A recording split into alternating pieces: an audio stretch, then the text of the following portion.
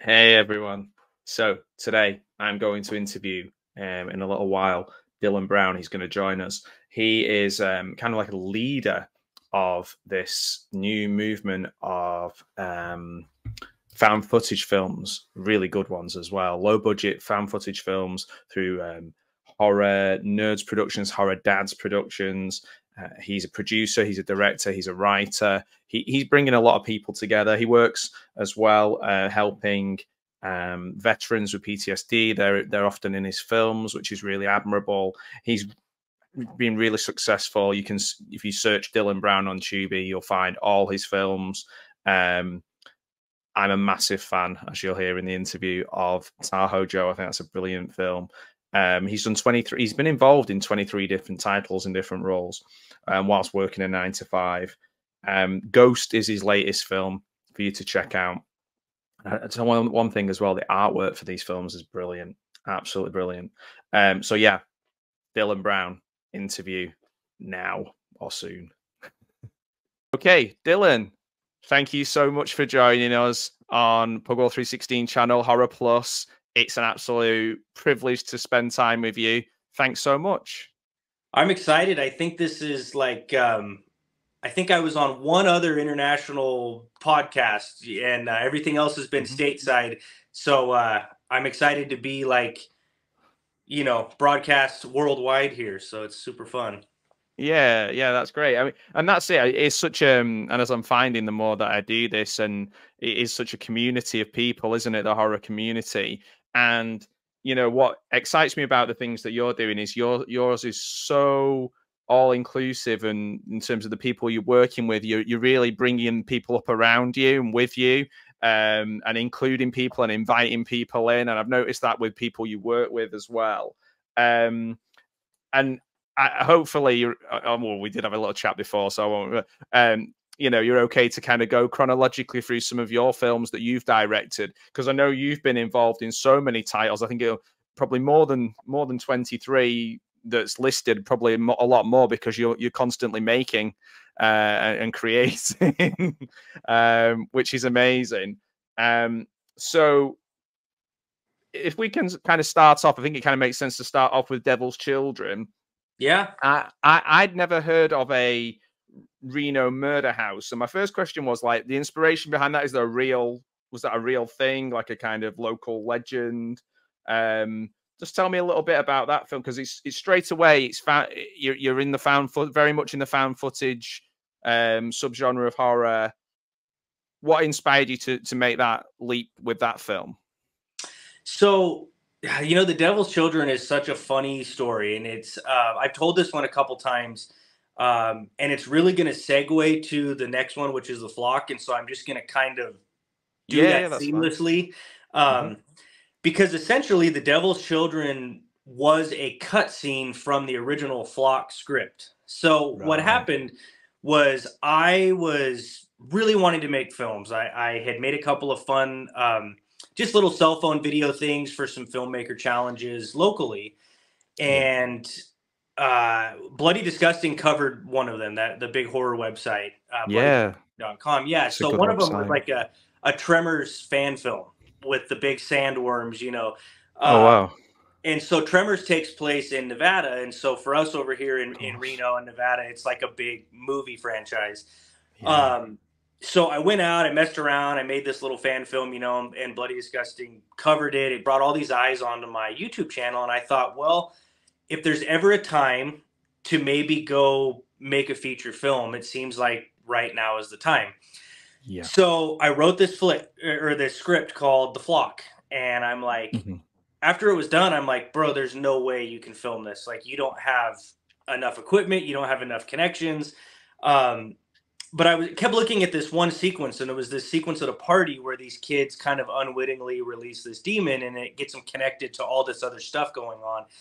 And I kept thinking, you know, well, I don't really need to show the party sequence in the flock. He doesn't need to be there. It could just sort of be alluded to. But then I thought, well, if I'm going to make my first movie, what if I just take that cut scene and stretch that into its own story? Right. And that's a little more manageable. You know, it's got a, a smaller cast, it's got far less uh, plot devices. Uh, and so I got all prepped. And then COVID hit, and so like uh. everything was shut down. And the original place I wanted to shoot the movie, I couldn't go shoot it. Uh, the camera crew that I was really hoping to work with, they were like really freaking out. They, they were all sick at the time I had reached out, so none of them wanted anything to do with work. Um, but I was home because we were on leave for work for a while and I had nothing to do for like a month. And I thought, well, I have a camera. I have some people who are really hungry. They haven't worked in a while. Some uh, a lot of theater kids, and so you know the first thing that got shut down was stage plays and stuff like that. Yeah, of course. Um, yeah. And so they were excited, and I was like, "Hey, this is going to be weird. There's not a huge script. Uh, you're going to be doing a lot of improv. Um, mm-hmm. If we shoot it found footage style, I can really be in there with the camera. We can forget about all of the the stuff that you know you have to normally worry about. We can we can have shadows in the shot or we can have a reflection. Like who cares? It's raw footage. It's supposed to be like that. Yeah, so that's, yeah. That's kind of why found footage became my thing. It was sort of just out of necessity at the time. Yeah. Um and so it's inspired. Go, sorry, go ahead. No, I was just oh, going to say it's inspired so many other people in your group and other. You know, it, it, there's there's so many people surrounding you now making found footage from that kind of from that decision that you made for practical reasons. Yeah, it's it's so funny. Um, and and here's the really funny thing about found footage is it it does it's got this like double edged sword. One side of it says anybody can grab a camera and make something in the genre because it's it's mm-hmm. okay to be raw. It's part of the it's part of it. You know, it's not a found footage film if it doesn't have those cameraman reflections in the mirror or that really in-world camera feel. But conversely, as I've been learning as we've been getting more and more complicated and, and with bigger and bigger films, it's a lot harder than a normal production because I'm sort of stuck with like one camera angle with whoever has the camera at the time. So if we need to pull off a special effect, it has to be done in camera from that one perspective. I can't do the very famous, you know, uh, a knife comes at the character and then cut away to an up close shot of the knife going yeah. in and then coming back out again. We have to pull it all off in one angle because there's only one viewpoint. So right. effects wise, found footage is very tough. And I've been telling new filmmakers if you're going to get into the genre, don't get super complicated yet because it actually becomes very, very expensive to make effects yeah. work in this genre. Uh, that makes perfect sense because I know you and I have talked about Host and they're very economic with the effects and how they do them. And I was thinking about the the bathtub scene in Devil's Children. So you, you've got quite a narrow window for that to it has to look right straight away and it doesn't it's it's quite it, it, has that shocking effect tell me a little bit about that bathtub scene because that's is that that's practical effects you yeah. know and in your first movie that you're going to have to kind of like you say you're going to hit the ground running so what we did this was such like a cheap way out right i'm totally going to like dox myself here but we were we were trying to figure out how are we going to do some of these things um in in world in camera found footage style. Mm-hmm. Well, I've always sort of been kind of a rebel and not really wanted to follow a lot of rules. And I thought, well, who says that the rule book, you know, for found footage says that the entire movie has to be found footage? So I had this idea where since since in the Devil's Children, it's kind of told in two parts. You have like the girl V being interviewed by the film mm-hmm. students, and she's recalling the story and then you have like the raw footage that they watch that she brings them on the camera card and says like well here's that card that the police never got uh, so you can see like what really happened so i thought if she's retelling the story why don't we just go ahead in those moments where she's telling things just film those like a traditionally shot thing. We don't really have to worry about who's holding the camera. Let's just recreate those moments uh, like documentaries do all the time. Somebody will be recalling an event and they recreate yeah, it, yeah right? sure. so that's how we went about a couple of scenes in that movie. And uh, the bathtub scene was one of them but it was a, a great effect. So what we did was we yeah, took it was. we took an old um, pregnancy belly that people would wear to simulate a pregnancy and it was made out of styrofoam so i cut a big hole in it and the actress put it on, and so it was hollow inside. And we taped a big plastic bag in there to hold all this goop, and we filled it with fake blood. And we put inside of it a whole uh, squid that we bought from like an Asian food market. no way. and so when she reaches in, she's able to pull out all those tentacles, you know, and this oh, baby wow. squid thing. And uh, oh my, it was hilarious. Like fly. it, oh, it was such a funny sequence. We're all dying laughing. Oh um, oh my word! That was really, uh, really stood out for me. That scene. And yeah, and, you know, and yeah, it's it's a goofy movie, right? I, I will say it first and foremost. I, I didn't know what I was really doing. We ran out of time. Very amateur stuff going on. But I do think that that bathtub sequence was where it told me, hey, you do have the ingenuity to figure some stuff out. Yeah, and, and, and also my favorite you, part of the movie too. Oh, good. Oh, cool. Because that's it. I mean, you take those parts and then you run with them in your next movie. You go, oh, that worked really well. In the same way as you know, and I think this is maybe just a common personality trait of anybody creative is that we, I say we, uh, you know, we people who, who who have a creative bone in their body, they tend to think, oh, I, I've got to focus on the things I didn't do well, and but when you can kind of hold on to one or two things and take them with you onto your next piece of writing or your next movie or whatever it is, it it, it makes that even more worthwhile. Because when you do move on to the flock, um, some of the characters, obviously, now you've explained why that is. Some of the characters um, overlap, and also what I thought was different about the, the flock was that the conversations in the car. It reminded me a little bit of Dash Cam. It had that kind of um, interplay between the characters a little bit more. You were you were kind of like you said yourself. It's a little bit more fleshed out. Um, mm in in terms of the flock, what were your kind of ideas behind that? What did you want to do? Because I got a, um, sort of things like um, Red State or cults and Manson family kind, all that kind of thing, all squished together. What was what was your thoughts be behind that? The the flock originally. What did you want to put up on the screen?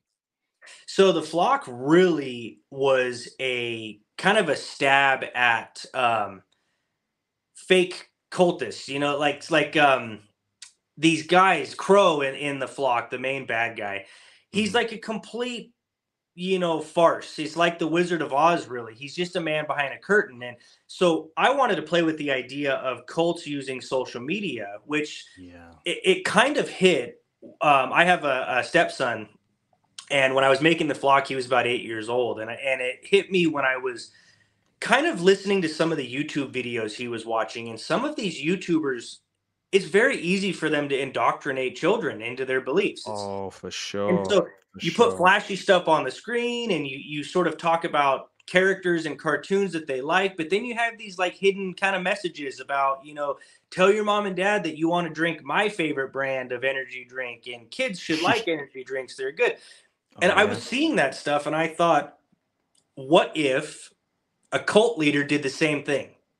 And you've mm-hmm. got all these kids who are on TikTok or Instagram or YouTube and they're they're 16, 17, 18 years old and they're lost kind of in life. Maybe they're struggling with uh you know personal or or gender or sexual identity or something and they have that thing going on or maybe they were suicidal at some point they all these yeah. people with like a, a dark cloud of not really knowing who they can go to, to yeah they're struggling yeah so then you have these people preying on those types, right? And saying, join us, join this, join the flock, join this group where you can be, you know, whoever you want to be. And they're using social media to kind of get the word out, uh, which is why we made all those fake sort of, um, you know, uh, I don't know what the word would be. Um, recruitment. Like promos. Yeah, yeah. Pro- recruitment. Yeah. It's a bit like, um, for the wrestling fans out like AEW with the uh, Dark Order, you know, like there's a yes. like join and it flashes up on the screen, join Dark Order, and that, that kind of gave me that same sort of vibe, you know. Um,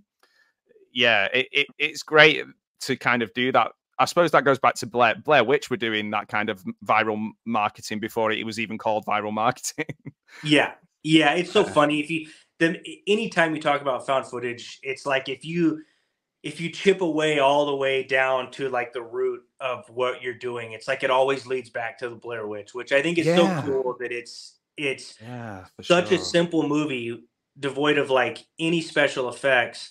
Um, but all of the all of the things we do still seem to kind of stem, you know, from that genesis, which is is really cool. It is really cool, isn't it? Because it's such a, at the time it was such a divisive film because people weren't weren't used to seeing the the angles, the movement, the production value or lack of. And I, I have said this before, and I said this to to um, Jed Shepherd because he was talking about host and his you know love of Blair Witch. And for me, Blair Witch, I watched in the cinema. People got up and booed at the end of it when I saw, and I'd never seen that in a cinema before, and I thought it's so strange um, because they just didn't know how to react. I think yeah. you were either going to absolutely love it or absolutely hate it.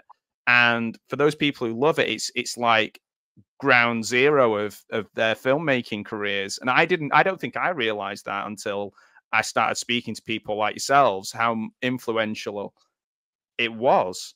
Um, and and you can see it shows people that you can do this yourself as well. Like gives you that kind of hope that you you don't have to have a multi-million pound production deal to make a film. Yeah, absolutely. And I think uh, so. I was probably, I think I was around eighth grade when the Blair Witch Project came out, and for me, I was right around the age where I'm believing anything.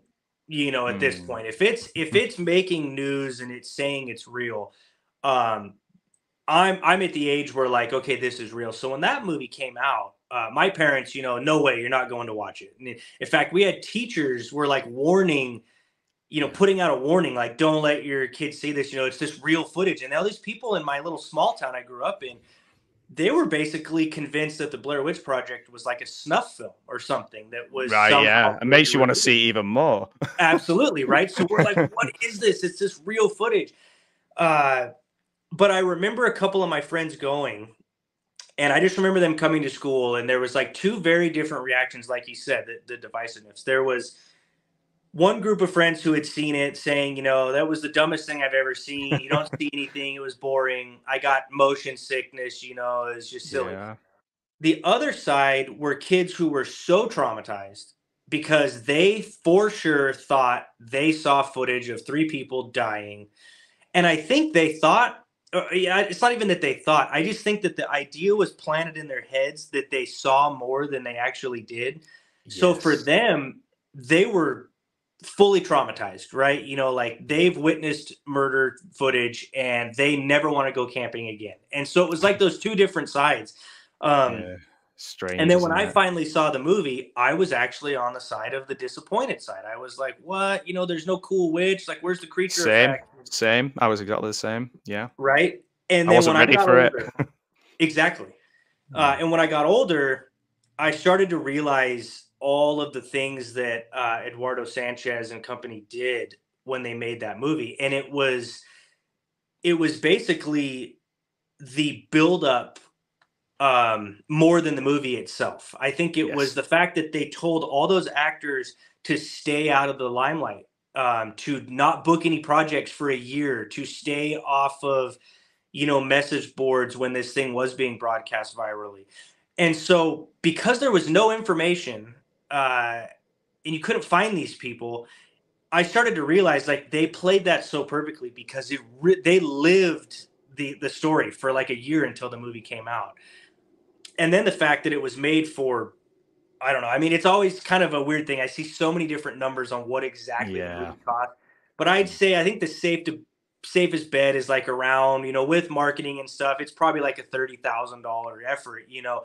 And it yeah. made like, you know, fifty million dollars or some crazy thing. It's like one of the biggest leaps from budget to to what it actually made ever and so that's when I really started to appreciate what they did. Um, yeah, certainly the marketing of it. Yeah, yeah, this is it. And I think I, I didn't get. I was exactly the same as you. I didn't get it straight away. Um, and I think as well, this you, you, with marketing things like that, it, the people who are warning you against it, it's so counterintuitive to what they want. You, yeah. They're doing such a great job in terms of marketing that film. I mean, I'm I'm a bit older, and and my thing wasn't so much that at our local church. It was more uh, Dungeons and Dragons, people getting up and crying and screaming about. You'd think it was like some sort of Southern Baptist, you know, American thing, but it wasn't. It was like you know, little little old England, and people screaming and crying about their children playing Dungeons and Dragons. and it just made me go, "What the hell is Dungeons and Dragons, and how can I get a hold yeah. of it?" well, it's like uh, I always know the very famous thing over on your side of the pond is the video nasty era. Of course, you know, yeah, and yeah. As soon as you tell a bunch of teenagers that we're banning these films because of gratuitous violence and nudity, everybody's like, I have to see it. Like, I absolutely yeah. have to see it. And it was probably the greatest thing that could have ever happened for those movies was saying you can't watch them. Yeah, and it's still possible now. I think people think it isn't. You can't fool people, but but you can. It, it, you just got to kind of be a little a little bit more creative about it and or do it in a slightly different way. There's so many different avenues. It's funny you say about the video nasties. Uh, I'm doing a short series with with uh, another YouTuber, um, Al Lacard, and we're we're going to be looking at.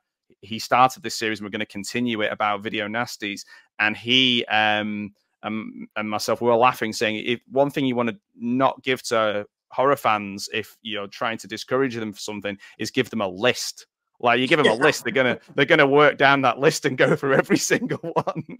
Yep, absolutely. So speaking of lists, actually, Dillon, um, I'm going to keep working through your your canon, your your films because I really, really want to spend some time talking about my favorite. I'm going to say this: uh, my favorite of yours, um, and I do want to kind of touch on the flock a little bit more, actually, because there's some really interesting things there. But I'm just too excited not to talk about Tahoe Joe because I love that film. I absolutely love it um, when you move from Devil's Children to the Flock to Tahoe Joe, you do take all the best parts of the things you've done before with you, and I think it just works in such a creative way. Um, you've got that monster movie feel, but you've also got the found footage. It's not like anything I've seen, which is a really positive thing. Tell me a little bit about the initial genesis of Tahoe Joe because I just want people to see this movie. I think it's great. So this is such a fun movie for me too because I, I was telling Michael Rock, our my my co-director on that and my main star, you know, in, in most of my movies. Um, I was telling him that we will probably always be the Tahoe Joe guys. Like I think that even when we go make, we can make a hundred other movies, but I do think that people will probably always default back to Tahoe Joe because it is the one that really put us on the map.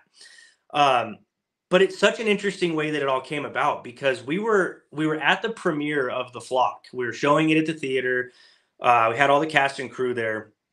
And i had had a little bit of an interesting situation on the flock shoot. I had some people that you know i enjoyed working with them but they were starting to get um, a little bit I don't really. I'm trying to think of the, the nicest way to say it. There, there were some people I was working with that were getting a little bit more, um, I think, satisfaction about just saying they were working on a movie because I had already proven I could get it out there than actually working on the movie. I think they wanted to ride my success more than they actually wanted to help, is what it started to feel like. Okay. And I had some people, you know, it's like, wait a minute, you know, you're, I'm bringing you in, I'm, I'm getting you, um, credits and I, am getting you you know stuff to build on your resume for future projects and stuff and bringing you in as a producer or a production assistant but you're not showing up to half of the shoots or you're not even promoting the movie when it's already out. You know i'm just i was having this really sour taste of mm. i thought i had a really cool group of people around me and instead i've got some people that seem to only want to talk about how they were involved with the project but they didn't actually want to like get their hands dirty and, and work yeah, it's a bit intoxicating, isn't it, to kind of just oh. say you're on a movie and and not actually do it's pretty anything. much yeah. it's pretty much what was happening, you know, and uh, and then they were getting upset, you know, because I wanted to work super fast, and I was like, no, we're not going to take a break right now. Like we we will at some point, but let's go. We're on limited time. Or oh, they're whining because it's cold outside, and it's like, well, guys, of course it's cold outside. You're an actor. You need to just we're gonna get through this. We'll get warmed up in a minute. I'm out here freezing too, you know and I just I was like, oh, this is so frustrating. And the one guy who was very very open to doing anything I asked and was always around was was Michael Rock. So we're at the premiere of the flock and I'm talking to him and he asked me, "Hey, do you have anything else planned for, you know, the future to to do anything?" And I said, "Well, um, I've always wanted to make a Bigfoot movie, and I kind of have this idea. Now that I've got a couple of movies under my belt and I've met you, would you want to come in and work with it? And Mike started actually kind of laughing, and he was, you know, I could tell he was like, "Oh boy, a, a low budget Bigfoot movie. That sounds." He's going to be in a costume. yeah, yeah, exactly. I'm sure he was thinking that he was going to be running around like Bigfoot, you know. Yeah. Um, and so I told him, you know, hey, I have this really cool idea, and we'll discuss a little more uh, after this is done and the stuff from the flock has kind of died down. So we got together and he said, You have a script. And I was like, Well, um, don't run away from this, but there is no script whatsoever. And he he's like, What? And I said, Well, um, no, we're gonna shoot it in real time, like a documentary, uh, completely unscripted, and it's just going to happen chronologically. Like we're going to film uh, in order until it's done.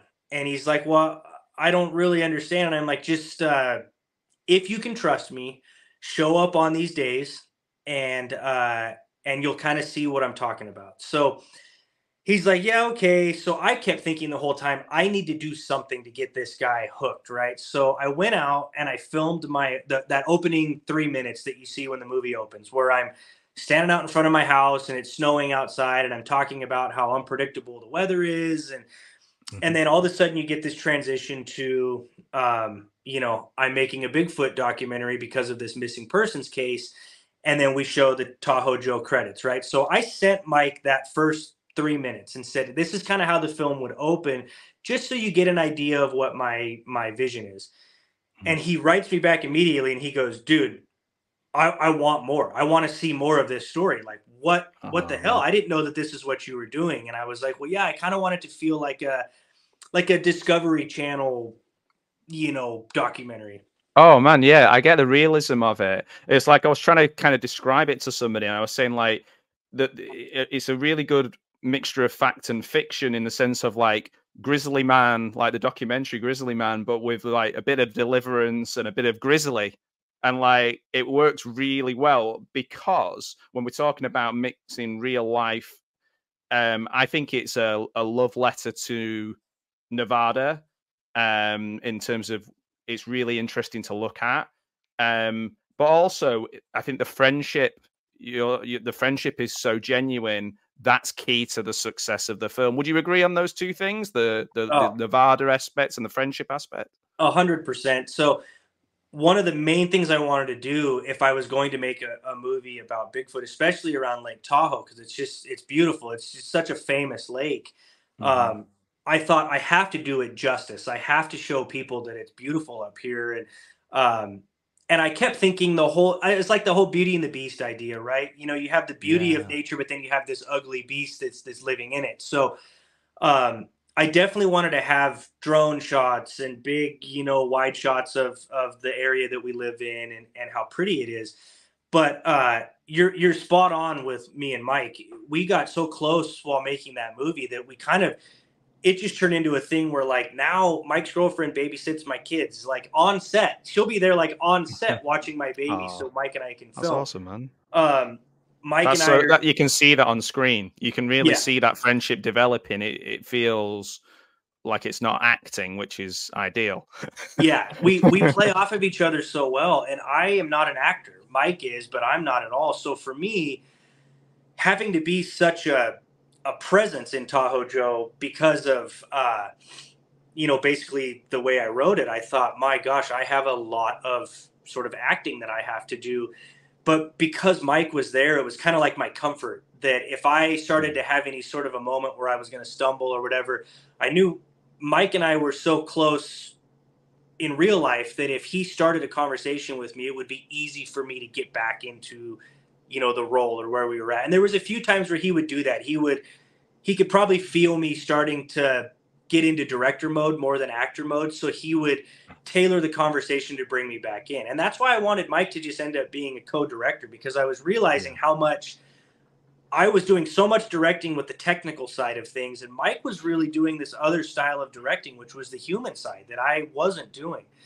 and I just felt like he can't be credited as just an actor on this. He's doing so many other things um, yeah.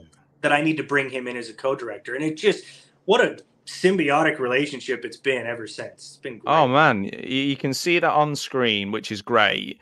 it, it, obviously, like you say, it's improved what you're doing through that collaboration. Um, he he's certainly got a presence, and you've got. I think you've got a presence of characters as well, but you've got a very different, distinct personalities that work well together. For example, the scenes with the the the, the guy who um who goes out with you and he, he he starts acting yeah very strangely and you're kind of unspoken looks at each other and kind of how, working out what to do, protecting each other, but also kind of working out the next steps is really well done. And and I think it'd be hard to do that if you if you were just like two complete strangers who just met. Um, Michael's got a real presence, hasn't he, with that kind of um obviously he he was special forces wasn't he so he's like um you know got that kind of comfort with physicality, I guess. Um, yeah, it works, and, and obviously you're you're you're in your native area, you're in your place that you feel very comfortable. But I did feel like the space is quite scary as well, isn't it? If you don't know it, like dropping somebody like me in there would be a death sentence.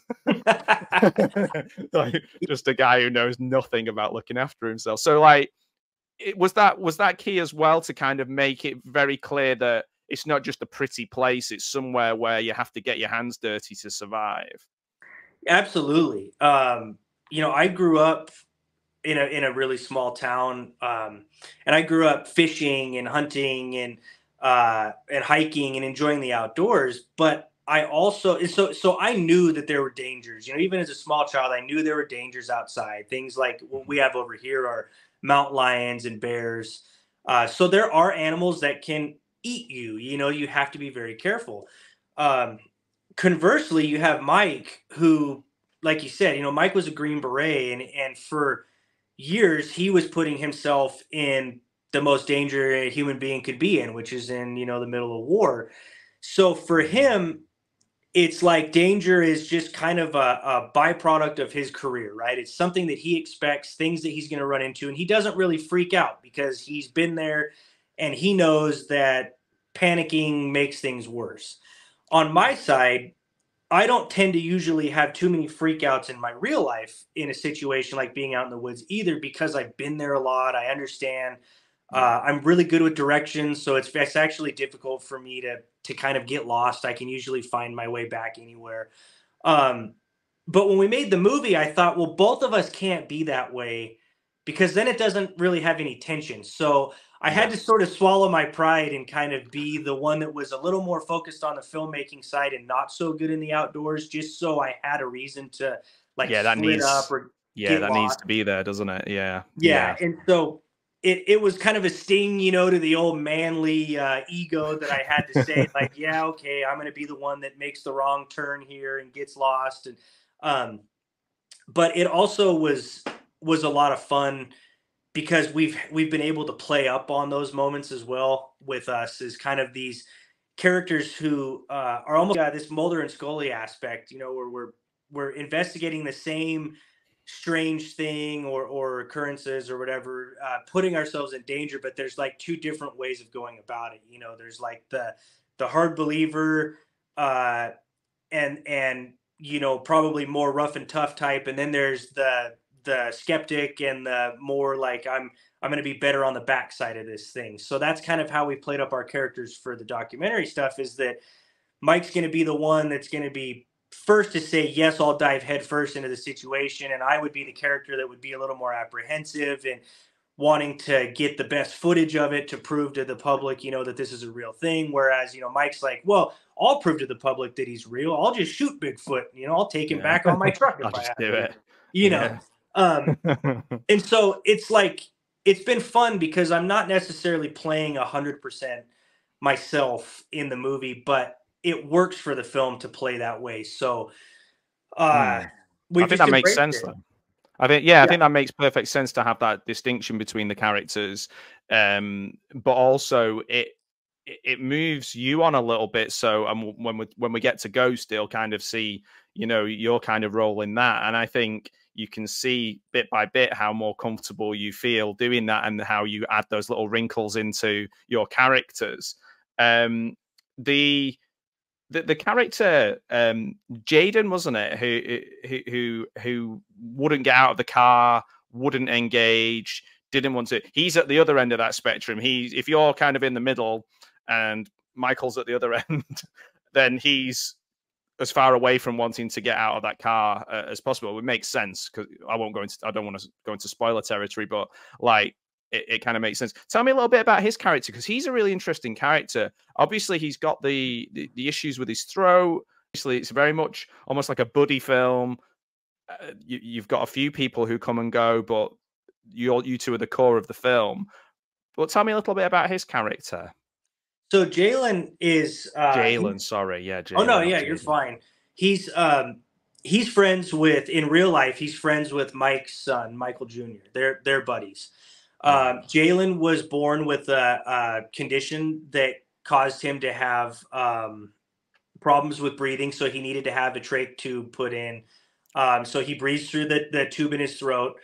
Uh, his lung capacity is weakened, so it helps him draw in more air that way. Right. Um, he had wanted to get involved in the movie stuff, but obviously, when you have speech problems because of a throat issue like that, it's very hard to find a role for somebody that has a hard time speaking, and especially when it can get very hard to hear what they're saying. And mm-hmm. Mike and I, you know, we kept saying like we want to be inclusive. We want anybody who wants to be involved in a movie to have a way to be involved. And so we thought, well, what if we bring in Jalen as Toma's son? And Jalen goes looking for his dad at one point and he gets injured. And this throat thing now is a result of like an attack by Tahoe Joe himself. This gives us the workaround without having to explain some sort of long backstory on Jalen being born with the condition. Yeah, but it yeah. adds a sense of realism as to how dangerous Certainly. it is to go out there. Yeah. Right. Yeah. So, I couldn't take uh, my my eyes off him because he was so affected by what had happened to him. You know, it, it, there was some real he, he was real emotions in there. I, I, really felt for him because he, he was kind of sharing his his pain and his loss and his you know, yeah yeah frustration. So, the really funny thing about it is, uh, I think Jalen's fear was mostly because there was a camera in his face, but it worked for the film. It worked. Yeah, he was. Yeah, he was very much that that kid was so nervous the day we were shooting. He was shaking at one point. You know, we kept telling him, "Hey, bro, it's fine." Nobody's gonna know if you mess up because I can cut this footage out. Nobody's gonna know. It's me, you, and Mike. That's it. So eventually he he came into his own, but uh, a lot of his fear, I think, was like actually really nervous, uh, but it worked because we needed that character to be that way. Um, yeah, yeah, it works really well. I mean, I, I th- th- there's so many elements of it of the film that come together in that in that way, and it's not, you know, sometimes people when they're sort of being putting themselves down, they go, "Oh, that just happened," or whatever. But it doesn't. A lot of thought and time and and creativity goes into making these these things work. And i think his character works really well. Like i said the the the, the burgeoning friendship between yourself and michael um the the the mixture of kind of real and and and um fiction like non-fiction and fiction is a really creative and interesting way. And um again like i go back to it i think the friendship is the key but there's so much spinning off that. So I was going to ask you about it later, but th- there is going to be a Tahoe Joe too, isn't there? Yes. In fact, I'm. Uh, the camera's not looking at it, but I am looking directly at our new and improved Tahoe Joe creature suit oh, that I'm man. building in the in my studio right now. Um, oh, and cool. uh, it's going to be excellent. We we were able to significantly increase the budget, which just means a much better monster this time. And that's pretty much where we've dumped all the money. Mike and I want to keep the movie organic and and everything like the first one was. So really when we had opportunities with some producers who said we want to, you know, back this movie and send some funds because they really like the first one too the first thing Mike and I said was, well, the only things we'll spend money on are upgrading camera equipment so we can shoot a, a higher quality film and and upgrading the monster suit and making a, a more kind of Hollywood level creature effect. Other than that, we don't want to do anything else because we don't want it to feel, you know, like a, a, movie per se. We want it to have that feeling that the first one did. That was like the, yeah. the documentary. So yeah, uh, non-fiction feel. Yeah, it really yeah. does have a yeah, it really does have that feel, and I think that works so well. Yeah, so that's really the second one's going to be the same way. Uh, we have a really, really awesome story that's going to take all of those uh, and and like you said, it, with for the sake of not spoiling anything, but all of those uh, elements at the end of the film that are like kind of like what the heck is going on, we're expanding on that really big in the sequel. Um, but the way we've written the sequel is that by the time you finish the second movie, you will watch the first movie differently because of right. some things going oh, on cool. that will actually make you when you go back to watch the first movie, you'll actually see some things that you probably would have never thought about uh, in this in, uh, until you've seen the second one. So I think it's going to make a, a really fun double feature because we're going to revisit some things from the first film, but it's not just a revisit; it's an expansion. Right, because it is whole, like I think, like you said, um, you know, it, it is wholly believable. So to hold on to that is is is going to be quite tricky, and still upgrade it at the same time, and kind yeah. of enhance enhance certain things. Um, and, for people who haven't seen the film, um, this isn't like suburban Sasquatch. If anyone's seen it, this isn't like you know. Uh, this this is a very economic use of the of the of the characters and actually by the way can i just say i love suburban sasquatch as well but in for completely different reasons. Uh, just from fun fun point of view like but yeah. um it, it it's that kind of economy. It's a bit like i always go but when i use those example i always think of like jaws you know? Like if they use too much of that shark people start picking holes in it um literally it would just start falling apart. But um it was yeah it's that kind of idea of economy uh, equals fear sometimes as well. Yeah. Um, it, it, it's um, yeah. So so for people, I just I just want people to watch that first one, and then I can't wait to see the second one. Um, really excited for that, and, and I'm kind of interested in the research element of the films. This is why I want to kind of nip, nip back to um, the flock a little bit because in the flock there's demonology, there's that Moloch character. The in Tahoe Joe, there's the kind of history of um, you know what that area and and and the different sort of myths in that area. In terms of research, do do you stick your head in a book and really go into it, or is it just things that you're interested in anyway? Um, a lot of them are just things that sort of spawn from as we're writing the story. We'll go, you know, maybe that deserves a little more uh, mm. expansion. So then we'll go and we'll do a little research, and then sometimes that changes, you know, what we're doing because we're like, ah, actually, maybe that doesn't quite fit the bill, or we'll say, oh, that's actually really cool. Let's actually go further into that. Uh, but like in the flock with Moloch, I was literally just looking for biblical demons, and I read up on this this demon of Moloch that uh, had this horrifying thing of you know child sacrifice, and I thought, well, since we're doing this whole thing with you know basically uh, teens and stuff being indoctrinated into this cult, like of course the demon that they would probably raise would be some sort of child sacrifice type thing. So that's why in the flock, Moloch could only be brought forth, you know, by a child sacrifice, which which happens at some point. I won't explain exactly how, but um so with that one, that's kind of why we went with that particular demon. It was just it was so eerie and freaky to me that I thought perfect. He's great. Um, Tahoe Joe's an interesting one because the actual Tahoe Joe myth and that, that originally started was Tahoe Joe was a mountain man that lived in the woods, and he basically uh, used to run er, eh, uh, up and down the mountains, stealing supplies from like armies when there was this big war going on in Nevada. Right? He was just like oh, wow. a guy that lived out in the woods. But somewhere down the line, I think somebody misinterpreted a story about a guy who wore like animal furs and they misinterpreted it as like a guy covered in fur and then it turned into like a bigfoot story somehow and they started calling yeah. it that same name uh, so nice. i just sort of made my own kind of take on that I, there's really no written anything about it we just we just wanted to convince people that it was a real myth here in reno uh, that our our version was. So I just started talking to the camera and making it as if it was real. Most of it was just Mike and I coming up with it on the spot.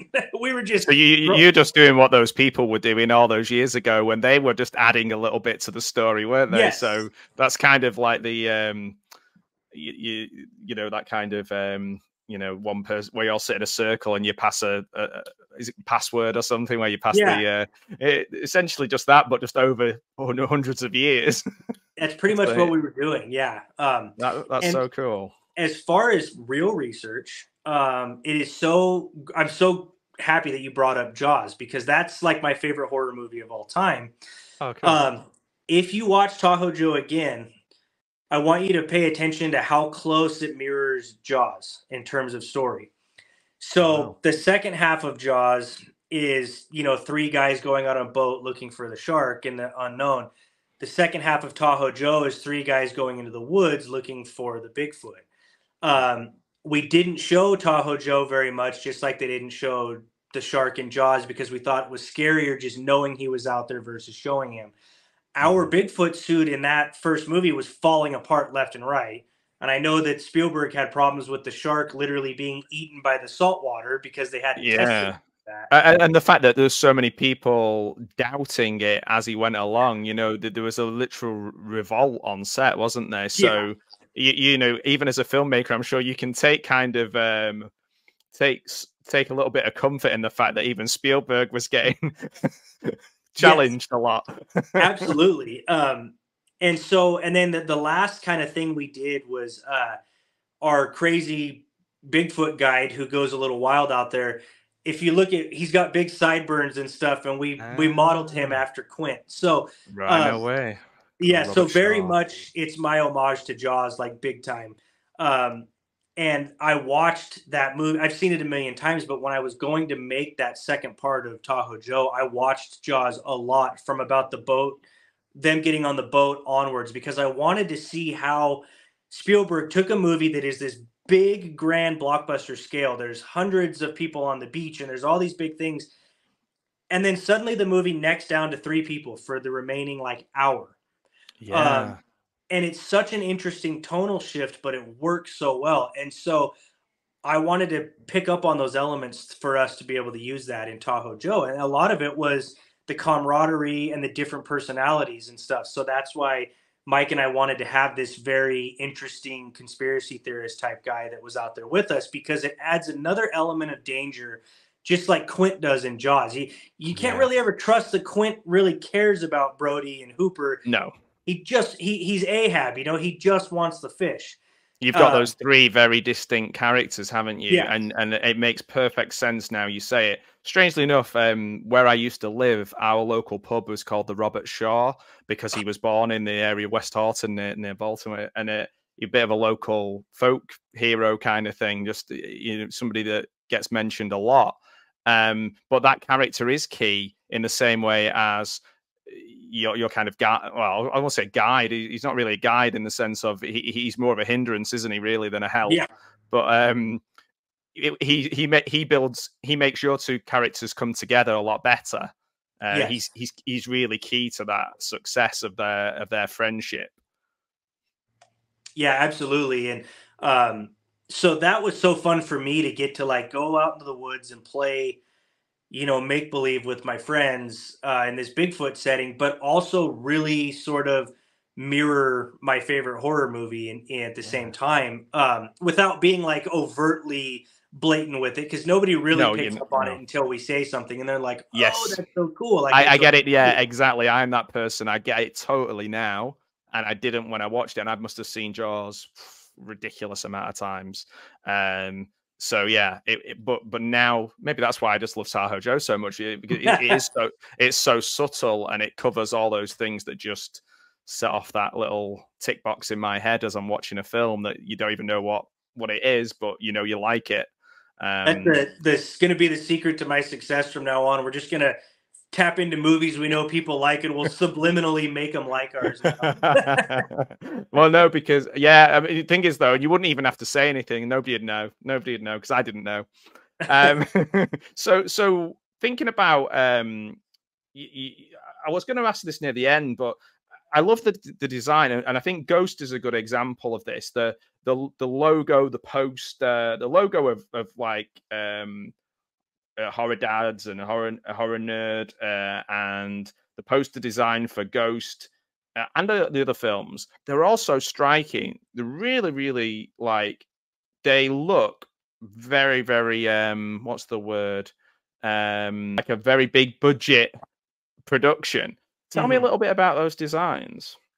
So, uh, for the flock and for Ghost, I had the same guy uh, do my uh, posters for me. And in fact, he's on your side of, of the water over there. His name's Tim uh, Smallman. He's got a, a, company called Deathless Design. And uh, basically, easiest guy ever to work with and super affordable. And I would go to him with some ideas and he would start throwing some concepts to me. And then we would just basically go from there.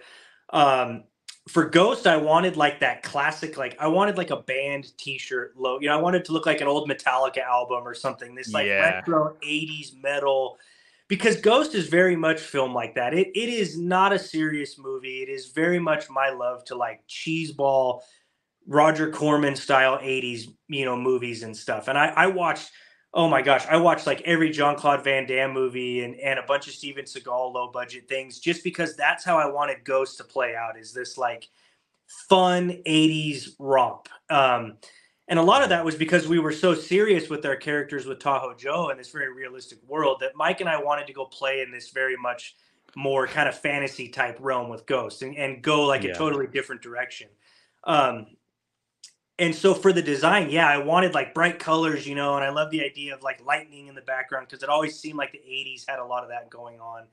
Um, yeah, that neon kind of feel. Yes. And, yeah, yeah and, it's, and it's really cool. I shot Ghost to be a very colorful movie too. There's a lot of scenes with graffiti in the background and uh, a lot of colors and stuff going on because I wanted – to sort of make a movie where most of it took place in the daytime instead of at night like most horror movies do. I wanted to have this like bright kind of fun vibe going. Um, now the tahoe joe poster i actually did that one on my own just kind of the classic bloody footprint on white sheet. Uh, yeah. the problem was that poster that i actually love was not approved by Tubi or the distributors and so they sort of made their own, which was this the kind of generic forest background with a Bigfoot footprint, and and it's fine. Mm-hmm. It does what it needs to do. It's totally cool, but uh, that poster. Yeah, I think I, I, prefer yours. is more striking. I think the I white. I loved it. I thought it was yeah. such a cool poster, and unfortunately, um, I don't know what the big deal was. I don't know why they didn't want it, but it's just i'm starting to learn that when you when you start working with people that can get your movies out there you kind of start falling into their their rules and their yeah. Oh man sometimes the you know i've talked to people where they've renamed their movies and change you know change the kind of the layout of certain bits or the, the the sort of the synopsis doesn't match the actual film so people are only going to kind of be disappointed and you just think yeah. just just let the creator create and uh, they, have obviously thought all about it a lot more than you have. Um, you can obviously take suggestions and how to market something, but to just change something on a whim seems really strange, really odd thing to do. Um, because, for example, I, I, wonder if that's just because it was the different color palettes of what most horror films are like, which for me would make it stand out more. yeah, I think um, I think the big problem was that original poster it was Tubi and Plex and some of those streaming channels. Uh, they don't like the the harsh white like that because I think it blends into their. Uh, uh, oh yeah. I, I think when they go to show your little poster on their menus and stuff, it gets like washed out by their backgrounds, and I so I think for them it wasn't meeting their requirements, right? And right. um, my distributor for Tahoe Joe is really really nice dude named Michael Steinberg. He he's a big believer in in what we're doing. Um, That's good.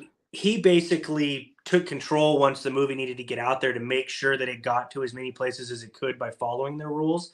Um, but one of the really cool things that he did as a distributor that was like the opposite of what you said, where you get these guys that want to change things or take things out. Michael actually watched the first cut of Tahoe Joe and said, Hey, I think you should add a little more to your film at the end. So at the end of Tahoe Joe, when you see the um, and this isn't a spoiler part, but when you see like the the newspaper articles and the uh, Fish and Game uh, hair analysis results and all that kind of stuff that comes yeah. up, that's uh, actually all Michael that came up with that and said you should you should end the mm. film with some more um, stuff to kind of allude that there could be further chapters and keep the audience, you know, like wondering. So he he came in big time and actually added that final probably 45 seconds that helps a lot. I think it ends the yeah, film it does. out that way. And it's great, isn't it? Because obviously now you are going into that, eh, you know, going straight into that second film that it, yeah, it, it adds to that in a in a really big way. So, um, Ghost is your most recent released film. I know you, are working yeah. on so many different things, um, and I know you talked about that '80s feel. So you've got um, Vernon Wells in there, who's been in so many, like, been in, he was in Commando. So like, we're mm. talking peak '80s kind of, uh, you know, action. Um, yeah. oh, he's been he's, he's been in a, he's been in so so many strange films. Some that I I, I really love and Like he's been, he's in Stuart Gordon's King of Ants. Like yeah. that's that's a that's a really cool. I like anything that Stuart Gordon did. To be honest, like Reanimator is just amazing. Um, but like things like Circuitry Man and things like that. Uh, that that that bringing in somebody into your core group of of people and, and I guess the more you go along, the more you're going to be doing that. The budgets and kind of change and things like that. You can get different people involved. Is that a challenge as well? Just kind of feeling like you're starting at step one with people you've just met, or you know, how how does that kind of how did that work working on Ghost with some different collaborators? Let's put it that way.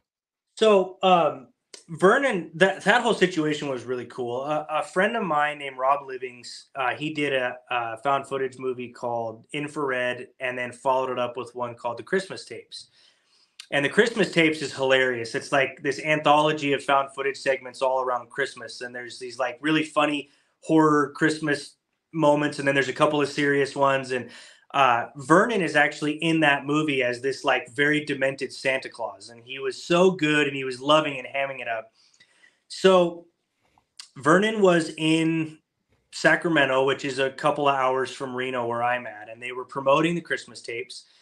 And Rob contacted me and he said, Hey, I don't know if you've ever thought about it, but would you want to try and bring somebody like Vernon Wells into one of your films at some point? Like, I can help you get that. And I'm like, you're telling me Bennett from like Commando and and yes. you know Innerspace and Red Mohawk bad oh, guy oh, from course, yeah. from Mad Max. You know, I'm just like, oh, what? Oh yeah, I forgot Mad Max, man. Yeah. yeah. Mad Max Two. Yeah, yeah, yeah. And so he's like, yeah. He goes, I think Vernon would do it. He had a lot of fun with us, and and he said, I've got my studio here in Sacramento. He's going to be here. We could just, you know, he goes, you can direct everything you need, but I can be your your like on-set director and we'll bring you in virtually on a big screen. Um, if you're willing to to you know allow us to shoot this thing. And I'm like, what do you mean am I willing? Like that is a huge favor to me. So wow. they talk to Vernon. Vernon gives us this like unbelievably cheap day rate so we could film this scene with him uh, Rob is actually a teacher at uh, a company called Futures Explored, and they they make films with um, adults who have various disabilities, like mental handicaps or physical disabilities, that want to get into filmmaking. So it's this, it's such like a, a beautiful charity type thing. It's a it's a wonderful cause that they have anyway. That sounds great. Vernon very much wanted to work with those those folks. So they could have somebody like him at their studio and give them that experience. He wanted to help out our cause because what i do with horror nerd on my side uh, is we work with war veterans and many of them use uh, acting as a therapy for post-traumatic stress disorder. Um, and that actually started when michael who was as we spoke about you know was a green beret was telling me that a lot of the horrible things he saw in his line of work and, and still sees as a uh, mike actually works um, as like an anti-child uh, sex trafficking, you know, task force guy or like anti-child porn and stuff. He busts pedophiles and takes them down. Oh, the wow. problem with that amazing work is he also has to see a lot of that horrible stuff. So for yeah. him, getting to come on to a movie set and run around with Bigfoot or you know play Ghost, whatever, it's like a, a mental break for him. Yeah, um, that yeah. So we started learning that there were other amazing. people that could use the same therapy to to deal with their stuff. So most of Ghost was actually comprised of law enforcement, uh, war veterans, or first responders like firefighters and paramedics and stuff that were actually in our movie. It was so cool. Yeah, so, that, that that was the first time that we actually started talking online, wasn't it? it was because that's yes. really what piqued my interest. My my day job is in inclusion, and I was like, "Wow, this is so interesting and so valuable." Um, yeah. And and then obviously it made me want to go and watch the films, and I did, and I and I binged them all in a row. Uh, but um, yeah, it's it's testament to yourself as well and your kind of inclusive nature. I know you're putting it onto other people as well, but it's just fantastic that you're doing that um, because you need an outlet. Everybody yeah. need, needs an outlet. If you whatever trauma it is, whatever hard hardship you've gone through, you need to be able to express that, don't you? And I think um, to be in your movie must be a wonderful way for for for those people to to feel that they are expressing themselves and getting to do that. Uh, and thank you for doing that for one. And also, um, is that something that's gonna you're gonna carry forward now? You've you've done more of that. Is that something that Absolutely. you can see yourself doing? Yeah. Yeah, we're gonna we're going to make it a thing where you know we're not always going to have uh main characters that way or we're not always going to fill our entire set with with um you know people that have to have that background but we're no. Our mission moving forward is every movie moving forward will have somebody, if not multiples, involved in the in the production. Like we are always going to have somebody that fits that bill there, so they can use what we're doing to help themselves. And and um, you know the mission's just bigger than than making the film. I think seeing people get on set and really having a chance to um, be somebody else for a couple of hours and see them smiling and laughing and knowing that they just got off of a shift where maybe they dealt with a car accident and had to say something horrible or maybe they have struggled with some things for a while because of you know their time in the service but then they get to come over with what we're doing and have this hilarious time fighting demons in ghost and and it's so far removed from anything that they really dealt with um yeah I can see it. I see on set the laughter and the joy, and it's just it, it makes it so much more worthwhile for me. Oh man, the substantial it's, it's a substantial thing that you're doing, and and I think for for me as a viewer, knowing that I buy into it more because I kind of understand the morals and the the ideas behind what you're doing, but also it doesn't take away from the fun. So the people that are in the films, they're, they're chosen sensitively to match the roles. It's not yeah. a kind of community project with a with a film at the side of it. it it's a film where the right people uh, are chosen to to do the right roles, and but also with a with a strong ethos of inclusion, which yeah. which you know is is is outstanding. I, and and I've really I've really enjoyed seeing the journey, certainly through the four films, and it's allowed me to kind of open up and see other things that you've been involved in and different people you've worked with. Um, it feels like a movement, and I really enjoy that. I think it's I think it's great to be to be able to see that um, as an outsider, just to kind of for, for me to be able to see that. It must be great, even better for you to be at the center of it and, and, just li- living your normal life alongside that as well. Yeah, I mean that's where Horror Dadz came from. Was uh, it was myself mm. and some other filmmakers that were all balancing filmmaking life with being you know parents and having regular jobs on the side, uh, you know, as a main part of our life. And we're like, we were so tired of people saying you know that they had excuses, right? And it's like, oh, I wish I could be a filmmaker, but I don't have the time. And I'm like, what do you think I do?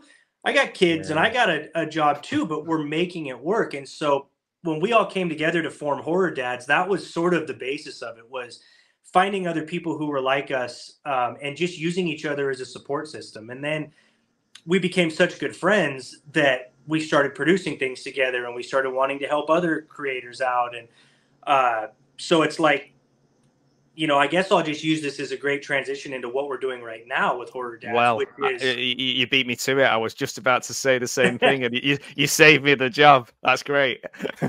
yeah. So split screen, uh, which is our our newest thing that we're doing, uh, is a combination of fellow horror dad uh, Joshua Brucker, and then myself, and we each directed a one hour film. Uh, and we're going to package them together as like a double feature and uh, it still has a lot of our regular things that we're doing. Like I've got my kind of veteran focus thing going on. We brought in a, um, female Marine to be one of the characters in my um, segment, and and kind of getting her first acting um, gig going, which was really cool. Uh, and then Josh has got other Horror Dadz members, Hunter Nino, who founded with us. He's the main actor in his uh, film, um, and we we've been pretty sparse on details, so I'm not going to go crazy here, but I am going to give you uh, like the first public kind of description here on what we're doing because we haven't told anybody a lot of this stuff yet. So basically, Split Screen is um, it's a double feature project uh, two films, two directors, and uh, we're going to have um, this kind of a, a, host character who will be uh, opening the film and then segueing between the two films and closing it out. And he's kind of our, our lineage, or our linkage, I should say, between the, the two movies. Mm-hmm. Um, and uh, Josh's film is called the Illinois Valley Murder Tapes, and it's very much based on uh, he loves the Poughkeepsie tapes. That movie oh, yeah. it freaks me out, and he loves that movie. So Josh is making a very scary, serious uh, slasher kind of film, um, basically about these podcasters who get involved with a murderer who is sending them his footage, uh, like kind of how the Zodiac was sending stuff to you know the newspapers yeah. and. And these podcasters get way in over their heads, uh, and so that's kind of where that story goes Mine is like ripped from the current headlines. It's called Gray's the Nevada alien incident, and it is like all about this UFO stuff going on right now, and all these people talking about alien stuff in the government. And um, so we did a movie with an alien, and I got to work with a full alien suit that is the coolest creature I've worked with so far nice. in a movie. It turned out so amazing.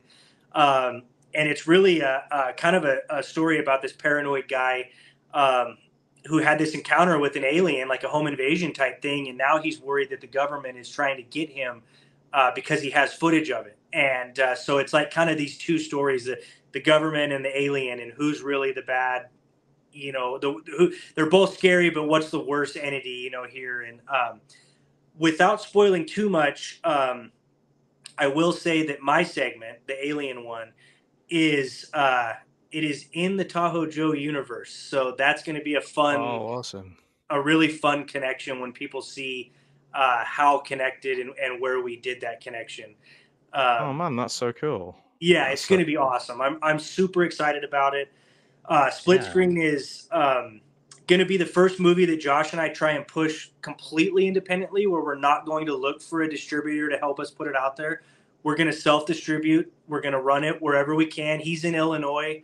Uh, I'm over in Nevada, so at least we've kind of got two parts of the country covered there.